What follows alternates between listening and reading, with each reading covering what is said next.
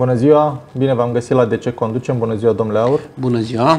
Uh, domnule Aur, se fac uh, cam 8 luni spre 9 luni de când facem emisiunea asta. M-am gândit să facem un, uh, un rezumat al măsurilor de siguranță despre care tot am discutat aici în fiecare emisiune. Și aș vrea să începem în primul rând cu regula celor două secunde. Să o mai explicăm o dată și să intre bine în, în Aș începe, aș începe cu cele trei feluri de reguli care trebuie respectate pe drum. Pe de o parte, când ne deplasăm, pe de o parte, reguli de circulație sunt obligatorii și suntem sancționați dacă nu le respectăm da. și alte două feluri de reguli care nu sunt obligatorii, dar care sunt mai mult decât recomandate, sunt foarte utile. Și vorbim aici de reguli de conducere defensivă și de reguli de bun simț. De ce reguli de bun simț? Nu cred că are rost să mai intrăm în asta. Rămânem la regulile de conducere defensivă. Ce înseamnă aceste reguli de conducere defensivă? Înseamnă practic un format, un curs sau niște informații care sunt oarecum paralele cu regulile de circulație, cu explicații, cu detalieri, cu lucruri pe care poți să le faci ca să fii în siguranță. Când vorbim de regula celor două secunde, că acesta e primul subiect, ce înseamnă regula celor două secunde? Păi trebuie să plecăm de la ce ă, de la întrebarea la ce distanță trebuie să stau față de mașina din fața mea. Din păcate, în România nu este reglementată, în alte țări este reglementată. Acolo unde e reglementată, dar și la conducerea defensivă, spunem că trebuie să stai la jumătatea în metri a vitezei pe care o ai. Adică la 100 la oră, la minimum 50 de minimum, mai mult poți să stai. La 60 la oră, 30 de metri. La 130 la oră, 65 de metri pe autostradă. Da? De ce așa? Așa pentru că uh, timpul de reflex al unui om normal este de cam o secundă și jumătate, adică de când se întâmplă ceva până când percep, până când transformi în, în mișcare, să tragi de volan sau să virezi, trec cam o secundă și jumătate și atunci s-a vorbit de cele două secunde ca să ai timp să reacționezi. Și s-a ajuns la regula celor două secunde și pentru a fi o explicație pentru cei care spun, bine, bine, dar eu cum apreciez cei 50 de metri la 100 la oră? Că eu am senzația că 20 de metri sunt cam 50 sau la, e, e mai greu sau e uh, puțin probabil ca toți cei care conduc să aibă acest sistem de referință foarte bine. E practic o capacitate pe care o ai sau nu ai. Și atunci regula celor două secunde explică foarte clar. Când mașina din fața ta trece pe lângă un punct fix, tu cel din spate începi să numeri 1001, 1002, așa cum am spus eu acum, care înseamnă aproximativ 2 secunde. Sau teoretic ar trebui să, să dai drumul la cronometru, dar nu faci asta la volan, nici nu da. ai pe unul cu tine și să nu treci pe lângă punctul respectiv mai repede de sau înainte de a termina de spus 1002. Uh, de, uh, de, ce, practic, de ce faci asta? Faci asta pentru a-ți regla distanța față de cel din față și asta înseamnă regula celor două secunde până când trec eu după ce a trecut ăla să spun 1001, 1002. Înseamnă că sunt la o distanță relativ sigură. Adică se întâmplă ceva, eu am timp să frânez, să reacționez. Cu cât mașina mea este mai mare, la fiecare 5 metri de mașină în plus, adică am o dubă, conduc o dubă, conduc un camion, conduc un tir. Un tir are cam 15 metri, o mașină mică are 4 metri spre 5, 4 și ceva, 5, da. până în 5 metri. La fiecare 5 metri de mașină mai pun câte o secundă. De ce? Pentru că o mașină mare se oprește mai greu decât o mașină mică. Și acum, ducând la extrem așa, dacă am o basculantă plină de balaj și are 40 și ceva de tone legal, de obicei are 60 că merge ilegal, și în fața am nu știu ce mașină sport, super sport, de genul Ferrari, Lamborghini și nu mai știu ce mașină, păi ăla din fața mea va opri foarte repede și eu din spate opresc mai greu, că cu mașina grea. Și atunci, cu cât am greutate mai mare sau lungime mai mare a mașinii, care înseamnă greutate mai mare, măresc distanța și regula celor două secunde devine regula celor trei secunde sau patru secunde ca să fiu în siguranță. Deci asta este, să zic, regula celor două secunde, reglează distanța față de mașina din fața ta. Ok. Și sunt situații în care stăm la distanță mai mare de două secunde de mașina din față? Stăm, a, a, aici vorbim de condiții ideale de, de drum. Adică mașina mea și cu mașina din fața mea sunt mașini relativ egale. Uh, nu am condiții de ceață, ploaie, zăpadă, gheață uh, și nu am superaglomerație. Când uh, am aglomerat mai mult, condiții de vizibilitate sau de, de aderență mai mici, în sensul că uh, am ceață, ploaie, gheață, polei, uh, măresc distanța. Pentru că pe lângă reflexul meu, pot să apară alte, alți factori. De exemplu, mașina din fața mea frânează, Dar ca să înțelegem, la 100 de km pe oră eu fac 27 de metri pe secundă. Asta înseamnă că într-o secundă și jumătate fac 40 de metri fără să acționez frâna. Deci ăla din fața mea a început să acționeze, că s-au aprins stopurile, deci el practic frânează, sau copilul trece strada, el a început să treacă strada și eu mai parcurg la 100 de km pe oră încă 40 de metri până când reacționez. Ei, până când începe să reacționez în condiții dificile, s-ar putea ca ăla din față să fi frânat pe asfalt mai curat sau doar ud și eu să ajung într-o zonă cu polei, într-o zonă cu zăpadă, într-o zonă cu apă mai multă, ceea ce presupune că pe lângă timpul, întârzierea dată de factorii naturali, de reflexul meu, poate să mai apară și o diferență de aderență, de condiții de a opri mașina din cauza uh, condițiilor meteo, să zic.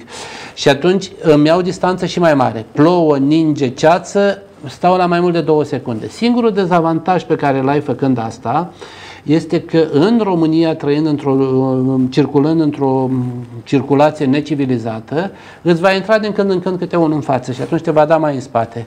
E o frustrare, într-adevăr, dar preferi să ai, sau ar trebui să preferi să ai acea frustrare să se întâmple din când în când, pentru că un șofer necivilizat, când vede distanță mai mare, zice, a, voi pot să intru eu în fața lui.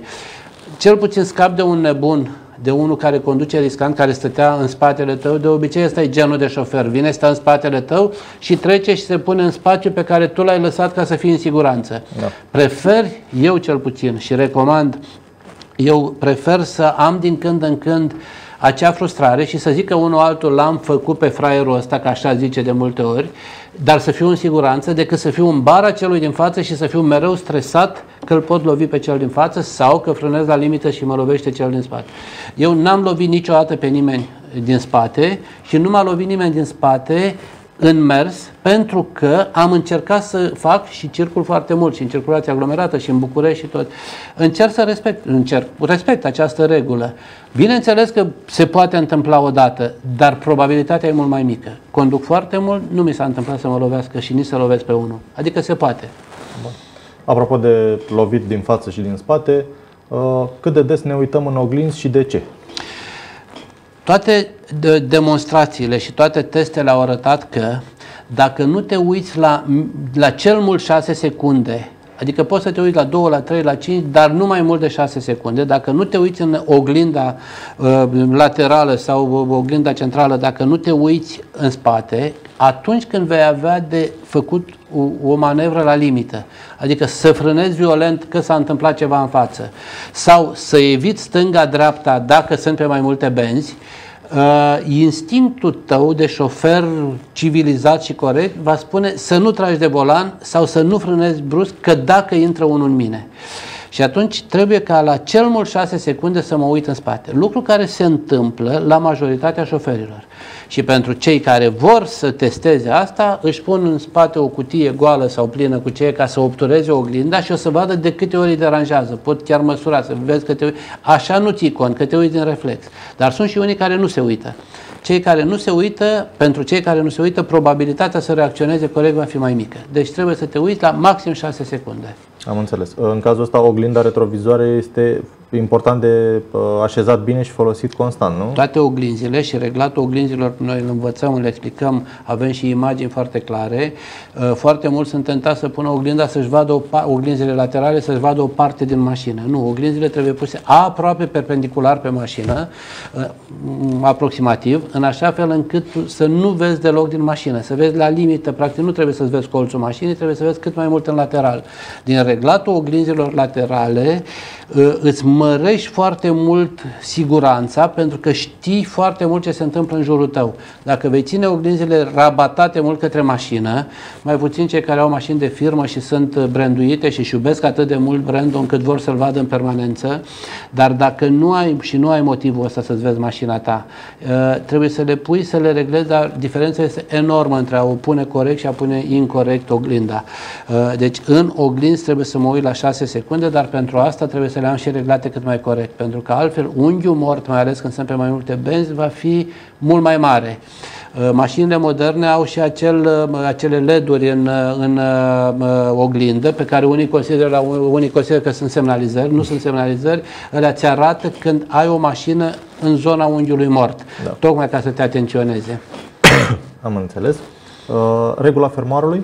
Regula fermarului este o regulă de bun simț până la urmă, dar este o regulă care a devenit regulă de uh, circulație în Germania, în Suedia, în Belgia, a, devenit, a venit din conducerea defensivă și a devenit regulă de circulație. Regula fermarului a apărut atunci când a început aglomerarea pe drumurile publice, de niște zeci de ani. În România uh, trăim uh, din ce în ce mai, uh, mai vizibil, să zic, acest, acest fenomen, adică se aglomerează și regula fermarului Harului spune așa, este o regulă care este împotriva regulii de circulație. Pentru că regula de circulație spune că atunci când trebuie să intrăm de pe două benzi pe o bandă sau de pe două străzi pe o stradă, unii au prioritate, unii nu au prioritate. Banda pe care circul, circul are prioritate, ceilalți trebuie să stea de pe benzile celelalte să dea prioritate.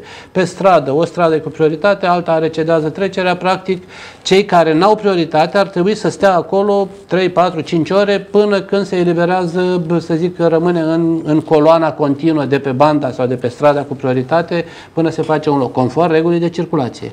Și atunci vine această regulă de conducere defensivă, repet, care a devenit regulă de circulație în alte țări, care spune așa, în această situație, când este aglomerat și trebuie să se intre de pe două benzi pe o bandă, din motive de accident, din motive de lucrări, din motive, să zic, apărute în afară de circulația normală în zona respectivă, atunci se respectă acea regulă a fermoarului. Ce înseamnă asta? O mașină din stânga, una din dreapta, una din stânga, exact cum ai încheia un fermoar. Practic da. închei și practic asta înseamnă fluiditate, asta înseamnă predictibilitate, pentru că ce nu avem în economie în general și în... Ce înseamnă asta? Știu când îmi vine rândul. Și asta înseamnă că imaginați-vă că suntem pe autostradă cu 130 la oră, trebuie să trecem de pe două benzi pe o bandă, se reduce un pic ritmul, pentru că este legat cu distanța. Da? Dacă mergem toți cu 130 la oră, trebuie să fim la 65 de metri unul de altul. Dacă reducem înspre 50-60 că s-a întâmplat ceva, distanța dintre noi poate să scadă la jumătate, că nu mai avem 130, avem 70, ceea ce înseamnă, sau 60, ceea ce înseamnă că putem fi la jumătatea distanțe dinainte și ceea ce înseamnă că poate să se închidă fermoarul. Și atunci, practic, intrăm cele două benzi cu viteză mai mică pe aceeași bandă și pe urmă ne despărțim iar. Circulăm cu 60 în zona respectivă, nu cu 130 în Germania. Da. Ce se întâmplă în România? Ne blocăm unul pe altul pentru că nu știm care să treacă, trec 2-3 de acolo, mai vine unul cu tupeu de pe banda fără prioritate, ăia se enervează, mai claxoane, mai nu știu ce și practic ne oprim. Și se face câte o coadă de 2, 3, 5 km pe o autostradă aglomerată, când se vine de la mare, când se vine de la munte, când. De ce? Pentru că nu știm regula fermoarului. Regula fermoarului dă fluiditate și îți dă acel confort că știi când îți vine rândul. Unul de acolo, unul de acolo, unul de acolo. În Germania, dacă n-ai respectat, îți ia carnetul. Este regulă de prioritate, regula fermoarului. La noi se refuză să fie învățată la școala de șoferi. Asta trebuie învățată la școala de șoferi, nu la școala generală, dar la școala de șoferi ar trebui învățată. Mai mult ar trebui sancționați cei care nu respectă. Nu avem asta. Nu e obligatorie, nu se învață la școală, este o regulă de bun simț care a devenit regulă de conducere defensivă, care a devenit regulă de circulație. Din păcate, la noi doar cei care au trecut prin cursuri de conducere defensivă sau cei care au instinctiv acel bun simț. Am înțeles. Uh, cercul de siguranță. Cercul de siguranță se discută în conducerea defensivă despre cercul de siguranță. Cercul de siguranță este legat de două feluri de pericole, în primul rând, pericol potențial și pericol efectiv. Și ce înseamnă cercul de siguranță? Asta e mașina mea, trebuie să am în față cele două secunde, adică jumătatea în metri a vitezei pe care o am, trebuie să am în spate aceeași distanță, adică mașina din spatele meu să fie la o aceeași distanță la două secunde și veți spune, păi și cum să fac eu asta?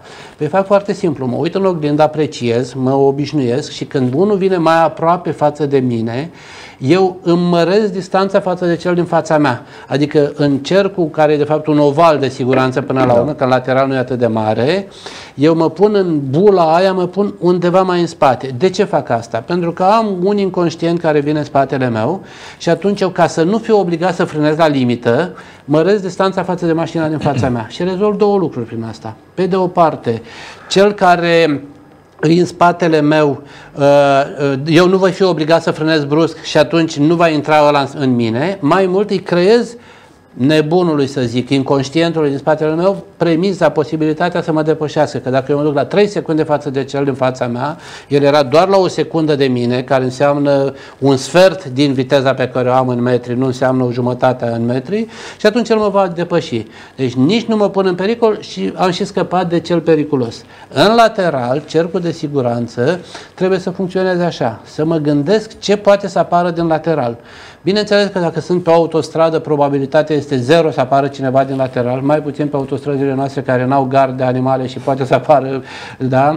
Uh, dar uh, în principiu, în lateral apare acolo unde ești într-o zonă mai aglomerată. Mai aglomerată că sunt tufe, tufișuri, că sunt case, că sunt mașini, că sunt locuri de joacă, că sunt, că e și acea vorbă. După o minge vine un copil, adică trebuie să anticipezi, da? da? Deci poate să vină ceva din lateral. Și atunci viteza mea trebuie să fie corelată cu distanța pe care o am în lateral, în așa fel încât cam orice s-ar întâmpla să nu mă surprindă. Același lucru când vorbim de bicicleta pe care o depășesc, uh, de orice fel de vehicul, o căruță pe care o depășesc, pot să mă gândesc că din căruță poate să cadă. Dacă văd un cățel care stă în căruță, pot să mă gândesc că ăla s-ar putea să sară în fața și atunci eu îmi asigur distanța laterală corelată cu viteza, în așa fel încât cam orice s-ar întâmpla să pot să evit. Acum, dacă chiar vrea cineva să dea drumul de sus, din lună, din stelă la ceva, mă surprinde. Da. Dar tot ce e vizibil.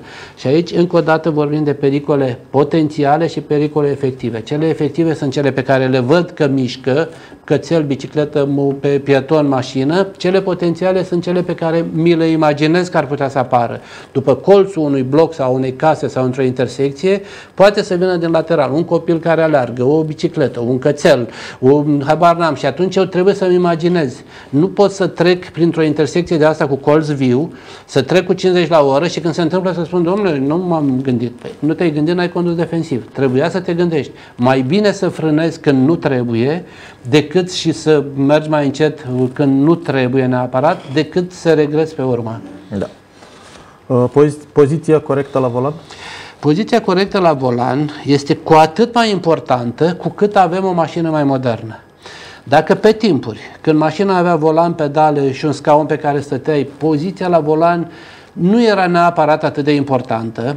Când vorbim de centuri de siguranță, când vorbim de scaune, când vorbim de tetiere, când vorbim de airbag-uri, contează poziția la volan. Pentru că vorbim de sisteme de siguranță pasive Adică o mașină are sisteme active și pasive. Cele active sunt cele care acționează împreună cu mine să rămân pe drum, ABS, pe controlul tracțiunii, direcție și toate ca să nu derapez, ca să mă opresc. Cele pasive sunt pasive pentru că stau și dorm acolo și de preferat să duci mașina la casare fără să știi că mașina a avut pasive. Ce înseamnă pasive? Începând de la forma scaunului, forma, ă, centuri, airbag-uri și tot felul de lucruri care te protejează, inclusiv șasiul care se îndoaie într-un anumit fel încât să te protejeze, motorul motorul, cutia care pleacă în cazul unui impact în așa fel încât să nu te omoare, dar contează poziția la volan foarte mult, pentru că dacă stau foarte aproape, când pleacă airbag s-ar putea să-mi rupă gâtul. Dacă stau foarte departe, s-ar putea să fie impactul atât de mare chiar cât mă ține centura dacă îmi dau cu, cu capul până se oprește capul în airbag. Pentru că airbag se deschide până într-un loc. Presupunând că eu stau undeva exagerând, pe bancheta din spate. Păi mă ține centura, dar capul meu va pleca în față și îmi voi rupe coloana că nu ajung până la airbag. Da. Și atunci poziția corectă, care înseamnă scaunul pe înălțime făcut în așa fel încât să văd în față peste volan, fără să-mi imaginez că trebuie să văd neapărat capota mașinii circulat față-spate scaunul în așa fel încât când calc ambreiajul sau când duc pe locul ambreiajului, genunchiul să fie puțin flexat. Pentru că dacă nu e puțin flexat genunchiul, în momentul unui impact sunt uh, tentat și asta fac din reflex să mă sprijin și, și în mâini, dar și în picioare, Piciorul întins înseamnă că la un impact una din încheieturi cedează. Dacă piciorul este un pic flexat, atunci la un impact normal de 40, de da. 30, de 50, că dacă e la 200 la oră nu mai contează. Și atunci contează cât de în față, cât de în spate. Spătarul trebuie să fiu cât mai vertical, dar în așa fel când întind mâna să-mi vină volanul la încheietura uh, mâinii, ca atunci când țin mâinile la orizontala volanului, că acolo se țin mâinile să am un unghi de aproximativ 120 de grade stând în poziția corectă la volan, urmăresc trei lucruri. 1. Să am vizibilitate. 2. Să am acces la comenzi, să ajung la schimbător, la frâna de mână, la pedale, la volan. 3. Să am confort. Ca să pot să am cele trei lucruri, trebuie să stau în poziția corectă. Tetiera trebuie să fie reglată, trebuie să fie la nivelul creștetului capului, pentru că o tetieră care e în dreptul gâtului sau a spatelui, mai ales pe bancheta din spate, în cazul unui impact din spate, practic devine pârghie care înrupe gâtul. Deci sunt foarte multe lucruri care contează ca să le știi, ca să fii în siguranță, printre care poziția la volan. Vizibilitatea în, în, în mașină înseamnă să vezi botul mașinii nu, sau să vezi dincolo? Nu, de... nu trebuie să văd botul mașinii, pentru că botul mașinii trebuie să-l văd doar atunci când parchează. Atunci mă pot ridica un pic. Eu trebuie să stau atât de jos încât să văd peste volan fără să întind gâtul să stau să fiu obositor. Deci stând în poziție normală să văd peste volan, de fiecare dată când conduci te uiți la 50, la 80, la 100 de metri, nu te uiți sub bara din față. Iar când parchezi se întâmplă foarte rar sau în fine foarte puțin raportat la cât de mult conduci, atunci poți să te ridici un pic sau poți să fii mai atent atunci, plus că mașinile în ziua de azi au senzori ca aproape, ca să nu mai spun că sunt cele care parchează singure, din ce în ce mai multe. Da. Asta e visul tuturor. Uh, depășirea în siguranță? Depășirea este cea mai periculoasă manevră pe care o faci legal atunci când conduci. Că ilegal sunt multe manevre, da? dar cea mai periculoasă manevră legală nu e aia de parcare, nu e aia de pornit de pe loc, nu e aia, depășirea este cea mai periculoasă. Din păcate, este o manevră cea mai periculoasă pe care trebuie să o faci de multe ori. De ce? Pentru că vehiculele lente circulă în fața ta și atunci tu trebuie să depășești. Nu o să stai în spatele unui tractor, a unui vehicul foarte lent, trebuie să depășești. La depășire trebuie să-ți iei în primul rând uh, mă, măsuri de siguranță de asigurat față-spate, semnalizat, încadrat în depășire cu o treaptă de viteză încât să ai putere suficientă și să nu lungești depășirea pe foarte mulți kilometri și de preferat să nu depășești mașinile care merg cu o viteză relativ egală cu tine.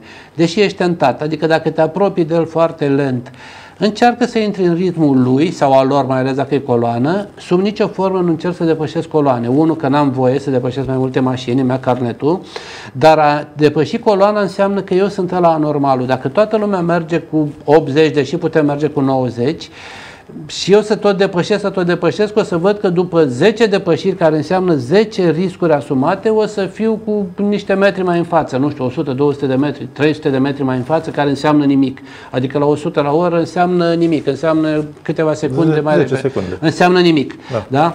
Uh, dacă toată coloana merge foarte tare, atunci da, eu merg cu viteza legală, dar dacă toată coloana merge în zonă de 90, merge cu 95, 98 până în 100, Prefer să-mi asum să merg și eu cu viteza coloanei, deși e un pic ieșit din confortul meu sau chiar din legalitate, da. dar ai o viteză sigură și atunci evit depășirile. De, trecerea de pe o, bandă, pe o bandă cu viteză mai mare decât pe altă bandă nu este considerată depășire, dar atenție, de multe ori ca și risc se încadrează în depășire. Adică chiar pe autostradă sau pe două benzi. Eu merg pe banda 2 mai tare decât pe banda 1. Nu-i considerată depășire, nu trebuie să semnalizez, nu trebuie să mă asigur.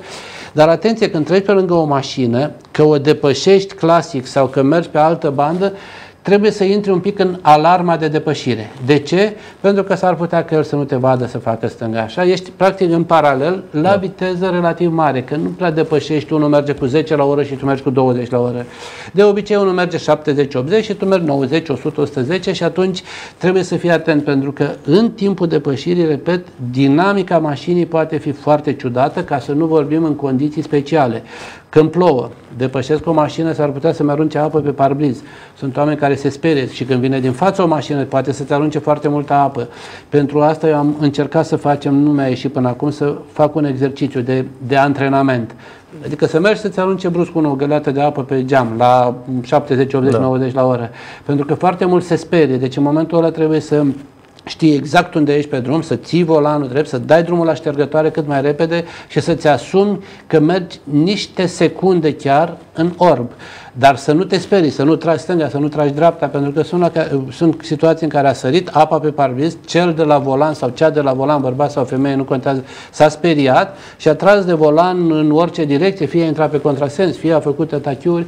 Uh, deci când depășești, trebuie să te gândești și la asta. Trebuie să te gândești că s-ar putea să-ți arunce o pietricică, s-ar putea, că nu mai spun când depășești un mijloc de transport de ăsta, de, uh, eu știu, balast, nisip, basculante, că poate să sară pietricele, poate să sară, adică trebuie să îți imaginezi, depășirea este cea mai periculoasă manevră legală pe care trebuie să o fac. Chiar dacă o fac perfect legal, tot este periculoasă. La partea cu apa pe parbriz, uh, în ce spuneați de măsurile pe care trebuie să le iei, de faptul că trebuie să fii conștient de tot, e practic înseamnă că tu trebuie ca deja să fie aplicat toate celelalte de dinainte. Regula celor două secunde, cercul de siguranță să, să ți Exact, știi. dar să te gândești că s-ar putea să vină peste cercul de siguranță încă ceva. Da. Trece ăla printr-o baltă, tu ești în depășire, oricum ești un pic tensionat, ești un pic și îți mai dă și cu apă pe parbriz și ești în depășire și rămâi și fără vizibilitate da. când plouă. Mai mult, uh, pe ploaie vorbim de acvaplanare. Acvaplanarea înseamnă că roata nu mai reușește să arunce apa Uh, în față, pentru că nu aruncă, o aruncă în fața apa. Da. Doar că la un moment dat, dacă te uiți la mașina din fața ta, o să vezi în spatele roții din spate, o să vezi vapori. Dar la un moment dat o să vezi apă, pur și simplu. Ei, când o să vezi la roata aia ca și cum ar arunca unul cu un pahar cu apă în permanență, adică vezi apă multă, trebuie să-ți imaginezi că roata lui nu mai reușește să arunce toată apa și o parte trece pe sub roată și este aruncată în spate. Asta înseamnă că ăla din fața ta e la limita acvaplanării. Plouă torențial sau e apă multă, viteza cu uzura roții um, um, și cu um, cantitatea de apă sunt cele trei, cei trei factori care duc la imposibilitatea de a arunca apa. Vorbim de acvaplanare. Deci anvelopă buzată, să zic, sau în fine, mai consumată, viteza și cantitatea de apă. Cauciucul, anvelopa, lucrează ca o pompă de apă. Aruncă apa, pur și simplu. Da. Și când nu mai poate să o arunce, trece pe sub roată. La un moment dat, roata plutește. E, dacă ăla din fața mea îi văd apă multă în spatele roții, înseamnă că s-ar putea să fiu și eu în aceeași situație. Bun, pot să consider eu am anvelope noi, ăla poate nu le are, pot să-mi găsesc eu circunstanțe, dar cel mai bine să gândesc, s-ar putea să fiu la limita acvaplanării și s-ar putea că ăla să meargă așa pentru că el simte deja că îi face mașina. Eu intru în depășire, și s-ar putea să fiu exact în zona de acvaplanare. Acvaplanare este cel mai periculos lucru care ți se poate întâmpla accidental. De ce? Când mașina acvaplanează, nu mai are contact cu solul, plutește pe apă, una sau mai multe roți.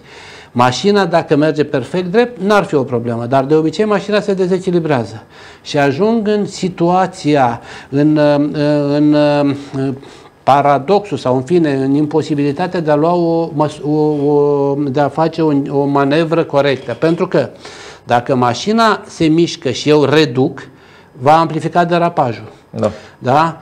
Dar și dacă accelerez, continui acvaplanarea.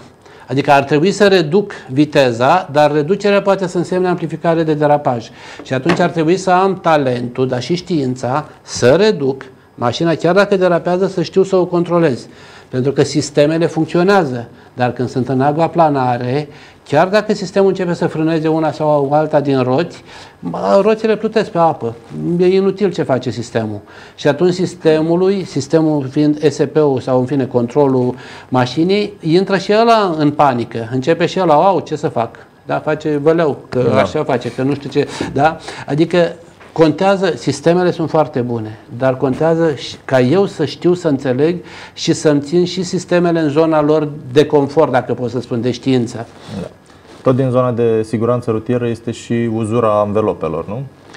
Uzura și vechimea anvelopelor și calitatea anvelopelor și presiunea anvelopelor intră în aceeași poveste.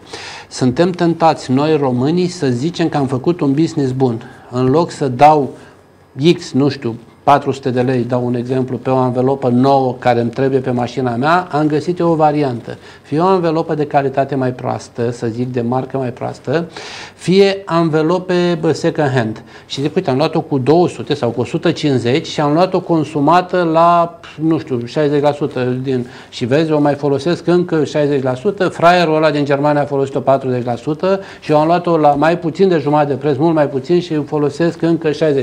Am făcut o afacere. Complet greșit, pentru că o anvelopă, cu cât trece timpul mai mult de când a fost fabricată, cu atât îi scade aderența. Dar aderența îi scade așa. În primii 5 ani scade câte puțin, câte puțin din trecerea timpului. După 5 ani aderența scade brusc, scade mult. Deci după 5 ani ar trebui să o arunc dacă este nefolosită deloc, dacă este pusă în rastel și n-am folosit-o deloc.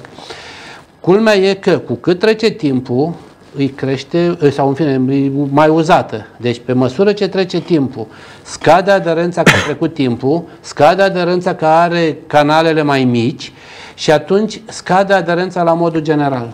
Când cumpăr anvelope second hand, pe lângă faptul că le cumpăr uzate și anvelopa are aderența cea mai bună la 8 mm adâncime canal, atât are o anvelopă nouă.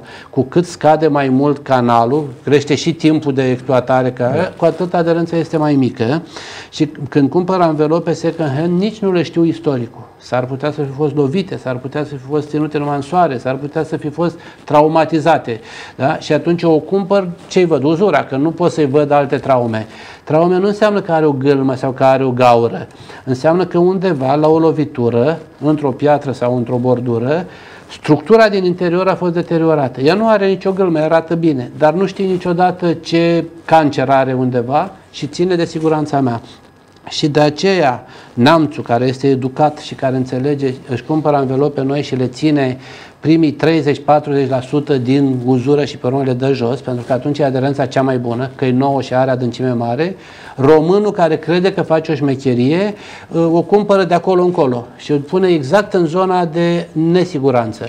Lucru care se vede și în statistică, că vedem accidentele cum sunt, și puțin de acolo și puțin de acolo. Pe urmă, presiunea în anvelopă este foarte importantă, pentru că o anvelopă supraumflată va călca doar pe mijloc și se va uza acolo și nu va avea aderență și va fi și zdruncinătoare mașina. O mașină subumflată va călca pe flancuri, că se ridică mijlocul anvelopei, se uzează pe flancuri, am și derivă, n-am aderență suficientă.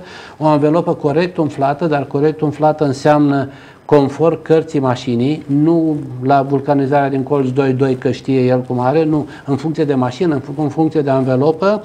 O anvelopă corect umflată înseamnă și eficiență, înseamnă și confort, înseamnă și uzură corectă, nu prematură, înseamnă practic uh, funcționare corectă. Pentru asta trebuie ca periodic să măsor uh, presiunea cât de periodic, la două săptămâni, la o lună, la două luni, dacă am senzor de presiune, atunci îmi va spune mașina, dacă nu am mașina atât de deșteaptă, trebuie să măsor presiunea, cu cât am anvelopă mai bună ca și calitatea anvelopei, cu atât o măsor mai rar, să zic.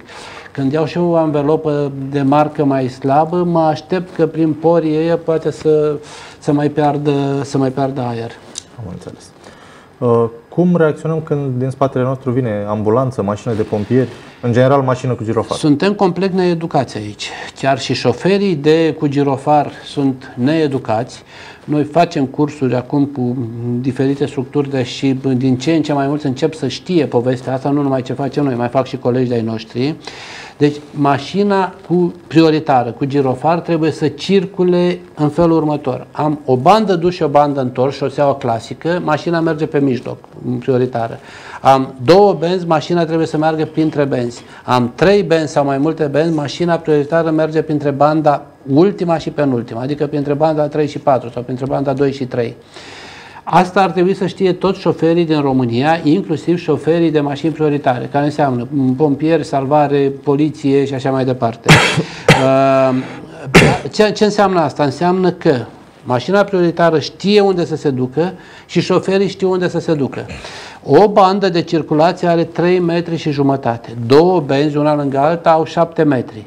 O mașină are sub 2 metri lățime. Sub 2 metri lățime înseamnă undeva 1 metru 80, 1 metru 70, atât are o, o mașină lățime. Maxim da. 2 metri sunt cele mai camioane sau care sunt cele mai late.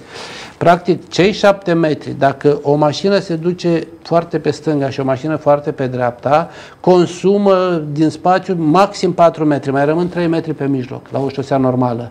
Fie că e dus întors, fie că îți benzi pe aceeași direcție. Așa ar trebui să circule. Vedem în alte țări, când se dau mașini, când se aude bă, bă, sirena și se vede girofarul din spate, se face un culoar. Eu am trăit pe pielea mea, am văzut odată la intrare în Praga, impresionant. Deci a, era, se stătea practic, se mergea cu 20-30 la oră, erau trei benzi, când s-a auzit în spate sirena și când au început să se dea toți, că se circula, dar repede, se mergea cu 20-30 la oră, S-au dat între banda 2 și 3, a trecut salvarea cu 100 la oră cel puțin, nu și-a făcut nimeni probleme că dacă nu se dau și pe măsură ce se apropia se tot dădeau, se tot dădeau, s-a făcut, s-a deschis drumul. De ce? Pentru că și șoferii de mașini civile și șoferii, șoferul de salvare știau ce au de făcut. La noi nu se știe. Nu se învață la școală de șoferi, nu se fac campanii, nu se învață nicăieri, nu se știe. La cursurile de conducere defensivă învățăm, transmitem asta, e puțin. 1% din șoferii din România, 2% maxim au făcut cursurile. Când vor fi peste jumătate care au făcut cursurile, s-ar putea încet încet să se propage, să se înțeleagă. Aș vrea să insistăm un pic pe ce ați spus mai devreme, că ambulanța a trecut printre benzile 2 și 3. Da. La noi de multe ori pe autostradă am văzut poliție sau ambulanță mergând pe banda de urgență. Nu pe acolo e locul lor, dar e, o, e o, o situație în care se pot duce pe acolo pentru că la noi nu știu să se dea. Deci mașina trebuie să meargă printre banda 1, banda 2, dacă avem două benzi, sau printre, printre ultima și penultima. Trebuie să fie o regulă foarte clară.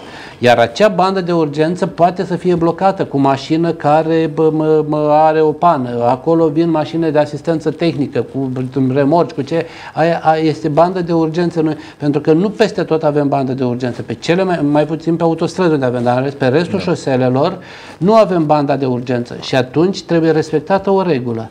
Da? Astăzi am pățit venind către emisiune, a venit mașina de poliție din spate, a știut pe unde să meargă, s-au dat majoritatea undeva între Corbeanca și Otopeni, până când unul de pe stânga s-a gândit el că trebuie să tragă pe dreapta că vine poliția. Și din momentul ăla s-a blocat toată lumea cu toată lumea, că și ăla din față n-a mai înțeles ce să facă, mașina de poliție a luat-o la un moment dat spre stânga că s-au încurcat. De ce? Pentru că a ajuns la un șofer care nu știa regula.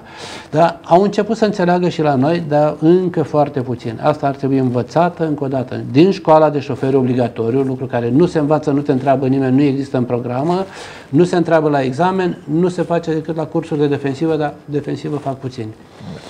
Toate măsurile astea de siguranță au ca scop final reducerea numărului de accidente. Asta e, asta e marele scop. Asta e desideratul, să zicem, da. da. Ă, digitalizarea traficului poate contribui la asta? Cu siguranță, da. Deci eu spun că sunt trei feluri de măsuri care ar trebui luate în România. Măsuri care pot fi simplu de tot făcute numai din pix, Haide să stabilim prin lege care e distanța față de mașina din față. Este doar din pic, se aprobă, se de mâine, e valabilă, nu trebuie niciun efort, doar 2-3 parlamentari și un pic o lege scrisă. Măsuri, a doua categorie, măsuri care se pot face cu efort relativ mic, în asta intră, de exemplu, susținerea cursurilor de conducere defensivă, susținerea unor campanii, modificarea uh, felului de școlarizare, care înseamnă un efort din partea unor funcționari, și, dar nu înseamnă un efort financiar mare. Da, niște salariați care lucrează și care ajung la niște concluzii. Da? Și a treia categorie de măsuri sunt măsuri care costă, care sunt mai greu de implementat din punctul ăsta de vedere al costurilor, dar sunt foarte necesare. Adică să facem autostrăzi, să facem drumuri, să le semnalizăm și să digitalizăm, să punem camere care observă și care transmit informații și șoferii se vor simți controlați, dar vor avea și informații cei care urmăresc tot sistemul să facem tot felul de dispozitive de digitalizare pentru a observa, pentru a urmări, pentru asta înseamnă deja tehnologie care este implicată, unele, să zic, elemente mai scumpe, altele mai ieftine. Sunt companii care vin deja și care se implică în zona asta, doar că, din păcate, sistemul nostru este prea departe, adică gândim deja sau, în fine, ne dorim lucruri pe care sistemul nu, nu, nu le acceptă nici la simple. Hai să stabilim prin lege distanța față de mașina din fața noastră. Este simplu. Un parlamentar face o lege în două săptămâni, dacă e voință politică, trece legea, o promulgă președintele și o știe. O știe. Se, ar trebui să se aplice. A, avem nevoie de șase luni, de un an până învață poporul. De acord, nu va fi efectul în secunda 2, dar ai o faci imediat. Când vorbim de digitalizare, eu cred foarte mult pentru că toată evoluția tehnică duce în direcția asta. Da? Vedem că digitalizarea ne cuprinde, intră peste noi în toate domeniile și bineînțeles că și în circulație ar fi foarte binevenită. Dar când mă gândesc cât de mult se va nu știu cum să spun un cuvânt, că era să spun un cuvânt urât, ținui sistemul până când va accepta, până vor începe licitații, până se vor suspecta tot felul de interese, dar de ce ăla, dar de ce ăla, oh, dar ce interese sunt, hai să o mai lăsăm, dar nu avem bani.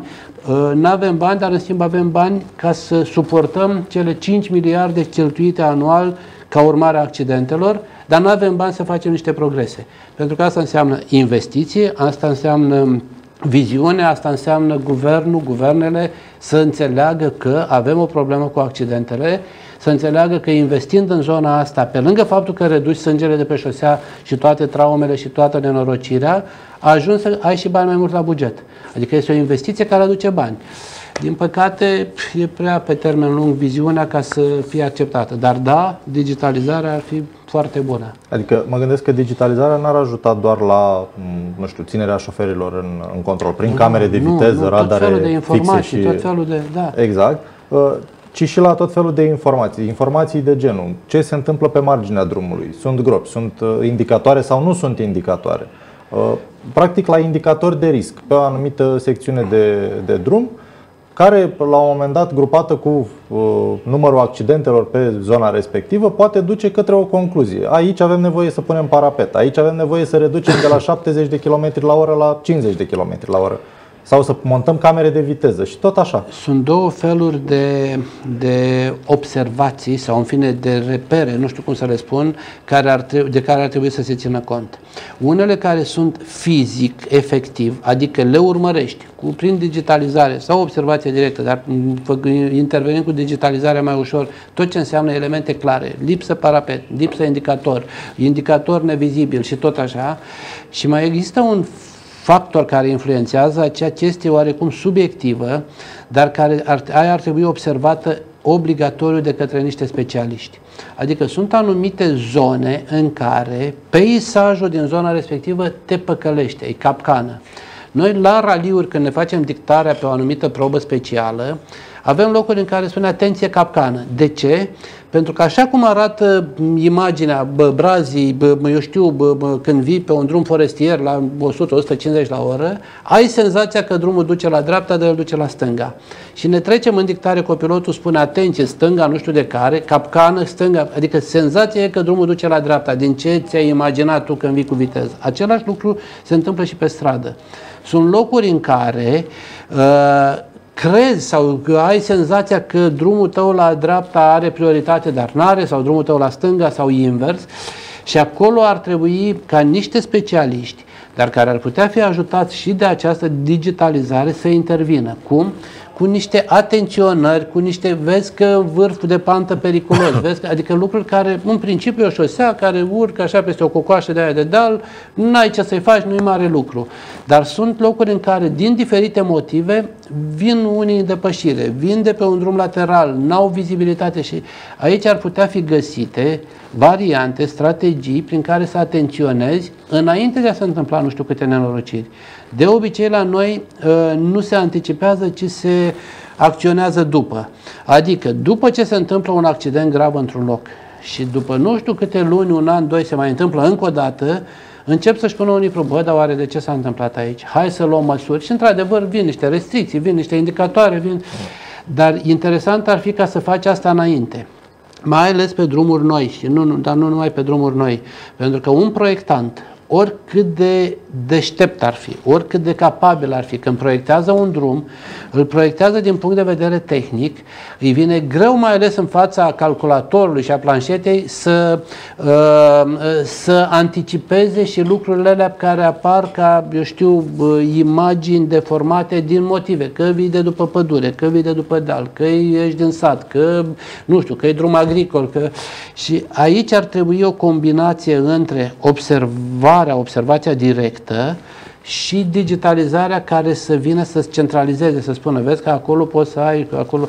Într-adevăr, digitalizarea din acest punct de vedere poate să contribuie foarte mult la îmbunătățirea traficului. Repet, o văd departe pentru România, dar o văd foarte utilă. Da. Deci, practic, digitalizarea ne-ar transforma cumva într-o țară preventivă decât mai degrabă decât una reactivă. A, a, exact, aici e problema, să facem prevenție, nu să reacționăm după. E bine și după decât deloc. Sunt multe locuri în care se întâmplă lucruri și nu se reacționează, da. nici măcar nu se reacționează. Ideal ar fi să știm să prevenim, să ne gândim cum să facem să nu se întâmple. Că după ce se întâmplă, orice victimă pe șosea, decedat sau doar accidentat grav sau puțin grav, înseamnă tragedii, tragedii. Tot vedem la televizor uh, preluat câte un caz, uh, fie accidentată din accident rutier, fie din altfel incendii și ce au mai fost, și care este transformat într-o nu știu cum să spun, eveniment mă, mă, mă urmărit, eveniment național. Trebuie să da. ne imaginăm că tragedia respectivă este multiplicată și este de fiecare dată pentru oricare din cei 5 morți, 10 răniți grav și chiar cei răniți ușor, care înseamnă mână ruptă, oase rupte, coaste rupte, nu înseamnă neapărat rănit ușor, înseamnă puțin. Unul dintre, una dintre șoselele pe care nu se intervine, deși se întâmplă des accidente aproape săptămânal, este celebrul DN2 E85 unde poate dacă s-ar digitaliza sectorul de drum, mai ales cele pe care chiar se întâmplă accidente des între Buzău și București mai ales, poate că am reușit cumva să evităm, să, nu știu, să introducem acolo, în zonele de, alea, niște măsuri. Deci eu nu cred că se va ajunge să se evite total, dar să reducem, să diminuăm, să zic, ponderea da. sau numărul accidentelor, ar trebui să, să se facă asta. Iar doar acei uh, limitatori sau, în fine, acei parapezi de pe mijlocul drumului, uh, da, sunt buni parțial, dar nu, eu nu cred că ăsta este idealul sau scopul ca pe toate șoselele naționale, nenaționale, autostrăzi și ce mai avem, să tot separăm cele două sensuri. Mai mult, separarea celor două sensuri aduc de multe ori și probleme. La trecerea prin localitate, în cazul în care rămâne unul blocat, da. iarna cu zăpada, adică nu este o soluție perfectă. Da, este o soluție de moment și într-adevăr nu mai ajung să se lovească doi de pe contrasens.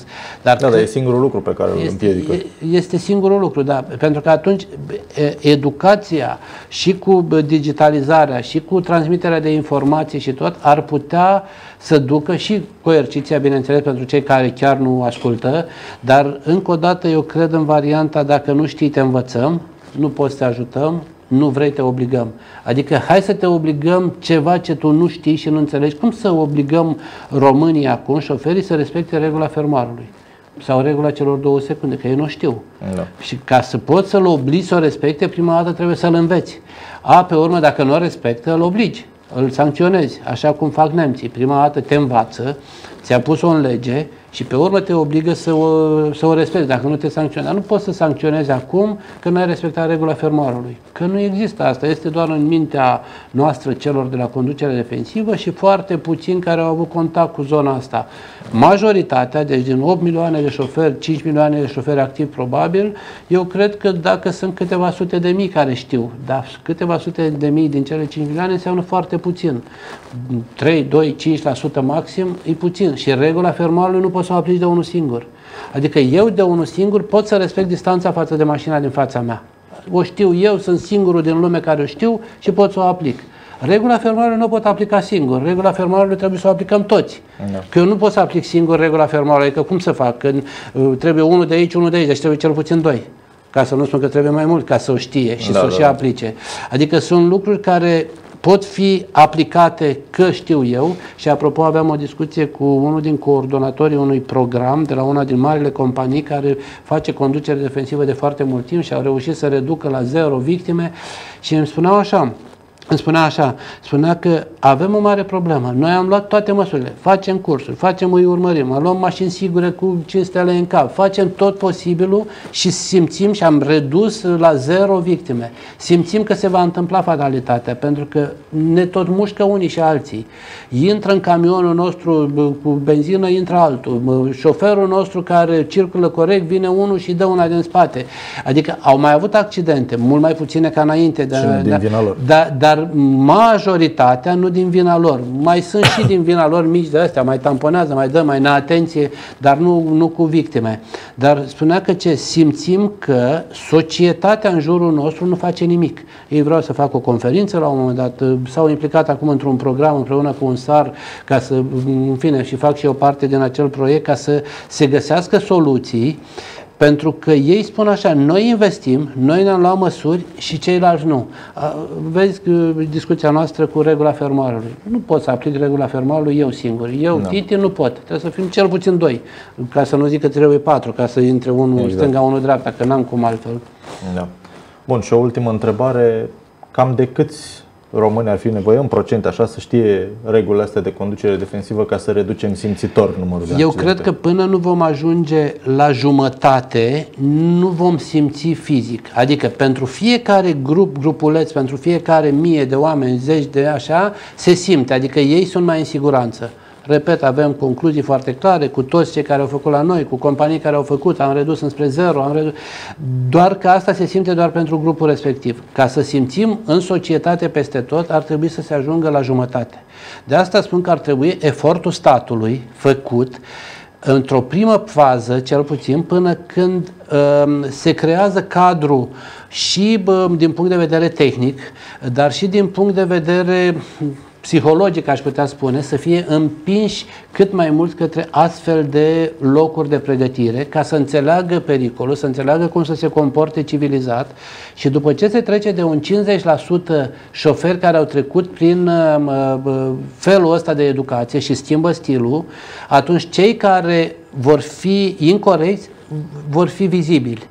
Când merg cel puțin jumătate corect, când apare unul de asta, va fi vizibil. Vizibil va fi în primul rând pentru ceilalți participanți la trafic, care într-un fel sau altul vor stigmatiza cumva, nu știu, prin mm. gesturi sau nu, și va fi vizibil și pentru poliție sau pentru cei care trebuie să ia măsuri. Pentru că altfel, dacă stă o mașină de poliție la intrarea într-o localitate unde nimeni nu reduce, da, prin sondaj mai ia, mai da amendă la unul, nu se întâmplă nimic, a plecat mașina de poliție, toată lumea merge la fel de tare. Dacă toată lumea depășește într-o zonă unde nu-i voie, vine poliția, mai ia din când în când 3 permise, 10 permise, mai face un raport la acțiunea de am luat atâtea permise. E un lucru bun că se face, dar pe acolo tot se e va trece. Da. E în momentul în care, cam asta este părerea mea, este concluzia mea din discuții cu alți specialiști de afară, din, da, când s-a ajuns la o jumătate să fie școlarizat, începe să se simtă. Nu înseamnă că trebuie să termin procesul. Ideal ar fi ca toată lumea să treacă. Da. Dar întrebarea a fost când cred. Cred că cel puțin jumătate. Asta înseamnă că în România să se treacă de un măcar 2 milioane jumate, 3 milioane din cei 5 milioane care circulă, că sunt 8 milioane de permise. Da. Dar nu chiar toți conduc, unii sunt pe afară, unii nu mai conduc, probabil 5-6 milioane conduc efectiv, din care vreo 2 milioane mai puțin și vreo 4 milioane mai mult. Ei, când treci înspre 2 milioane jumate, 3, asta înseamnă mai mult de jumătate din cei care circulă, atunci cred eu că va fi bă, vizibil fenomenul. Până atunci, nu prea. Bine. Mulțumesc mult, domnule Aur. Ne revedem și săptămâna viitoare. Cu plăcere. O zi frumoasă. La fel.